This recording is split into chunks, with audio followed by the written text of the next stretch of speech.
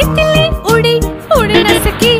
बस में चढ़ी सीट न मिली। सीट न मिली तो रोने लगी। हाँ, हाँ। कंडक्टर बोला आजा मेरे पास। तितली बोली चल बदमाश चल बदमाश मेरा घर है पास।